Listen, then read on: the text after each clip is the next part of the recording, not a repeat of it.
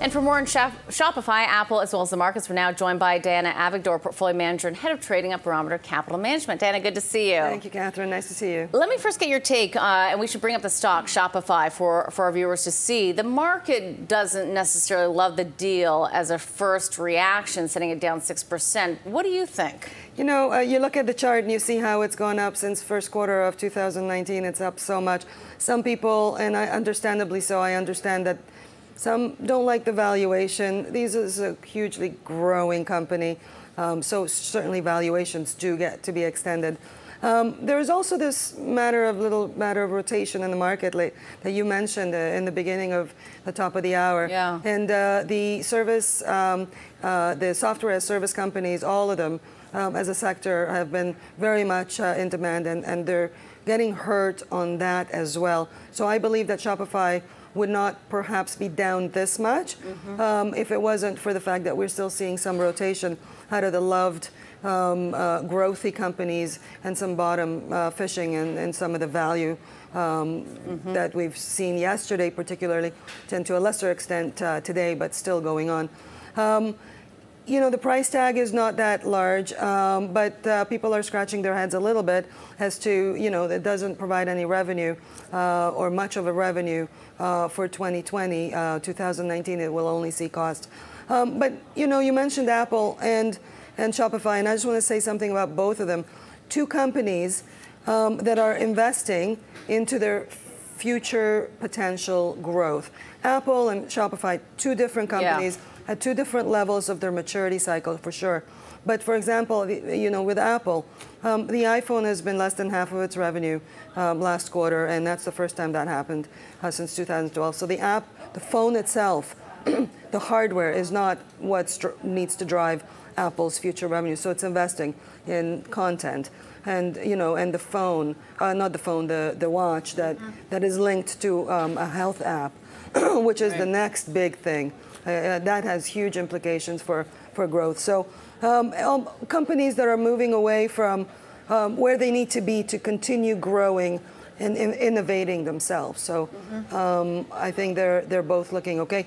With with Apple, for example, we have we have the China trade spat holding it back a little bit, but um, but Shopify, you know, it's investing in its fulfillment, um, customer service. It has a million customers since its inception. It has huge growth. So people are worried that it maybe paid a little bit into it, but that's normal. Mm-hmm. Two steps forward, one step back. It's just back into its moving average. What do you think, though, about the narrative, the commentary that uh, that Shopify is looking to compete with Amazon? I mean, just to say that makes would make people a little bit more nervous because yeah. we, we know what Amazon has done to other industries much larger than a Shopify as an example. Do you think that that's even the right way to be thinking about it? I understand that uh, people are comparing to Amazon because it's fulfillment and, and, and, and the same type of thing. It's very dangerous to say to compete with Amazon because people get fearful to your point that, you know, you can't compete with Amazon.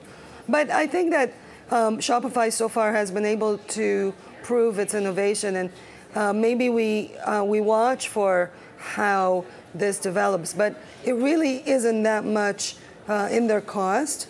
Um, so it's not going to impact the financials that much at this point. Um, so there's no need to worry about it's impacting its profitability or or, or, or, its path to growth for now. And Diana, as head of trading for Barometer, meaning you're on the institutional side for our viewers to understand, um, what, what kind of chatter do you hear around Shopify in terms of how desirable it is to own it in, in your portfolio as a long-term hold? Yeah, well, you know, um, Shopify in the last six months has really opened itself up to shareholders that are outside of Canada. I think that Canada is challenged, uh, Canadian stock market is challenged Eh, sometimes when it's only perceived as a commodity play. Um, and we are dependent for capital flows in our stock market because we're a small market capitalization relative to the world, and we are dependent in foreign flows, and, and we want those foreign flows. And when we come up with companies that are this innovative and growthy, that's fantastic for Canada.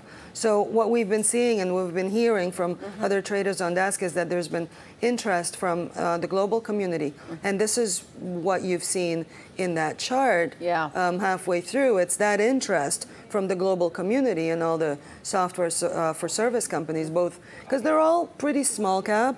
So if you're a large portfolio manager, some of the large US companies, excuse me, cannot achieve scale in their portfolios like a 3% position and you buy the whole company. So you can't do that. Mm-hmm. So you need to buy little slices of different companies to get say a 5% weight in the software service company. So shifting focus a little bit here. Yeah. We, are talking about this momentum shift that we're seeing out of these crowded growth names and, and into some of the cyclicals and, and value oriented plays. Um, do you think that's just a near term momentum kind of shift?